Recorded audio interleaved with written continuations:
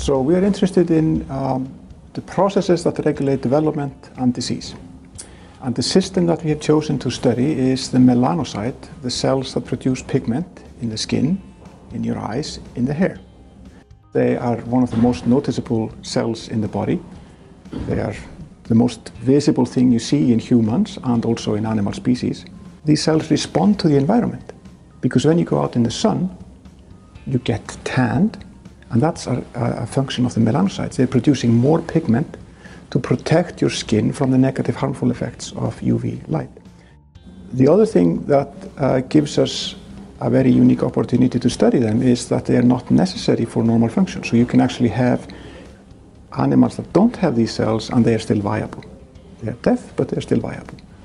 So what's so interesting about these cells? First of all, these cells have to arise from their place of origin, and these cells then need to migrate to their positions in the body. For example, they need to migrate all the way to the belly region, um, they, in the skin, they need to migrate to the eye, they need to migrate to the inner ear, and to the hair follicles all over the body.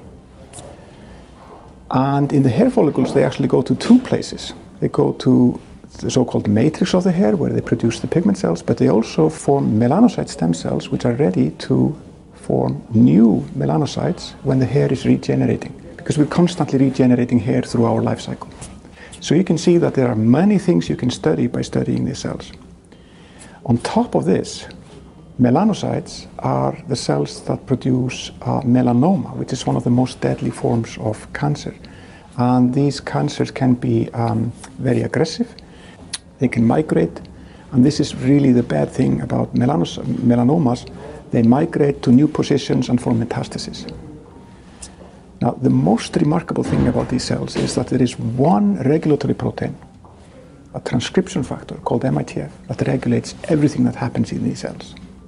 This one regulatory protein uh, is required for the early development, for the migration process, for the specification of the cells into um, differentiated cells and also for the stem cells. You can actually see the effects of this regulatory protein MITF in dogs. Whenever you see a dog that has a white patch or a white spot, you know this is MITF causing the white spot. The melanocytes are partly dysfunctional. They haven't been able to migrate all the way to the belly and therefore you get a belly spot.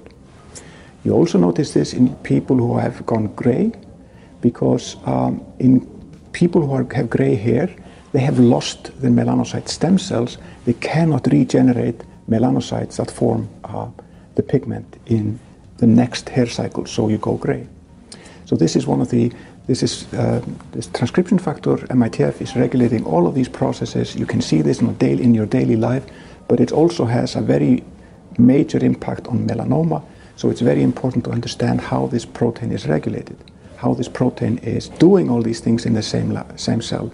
And this is what we're trying to study uh, in my laboratory. And we're doing this here at the University of Iceland, uh, where we run a lab um, researching uh, this interesting cell line. So if you have questions about melanocytes, please contact us. We will be more than happy to answer your questions.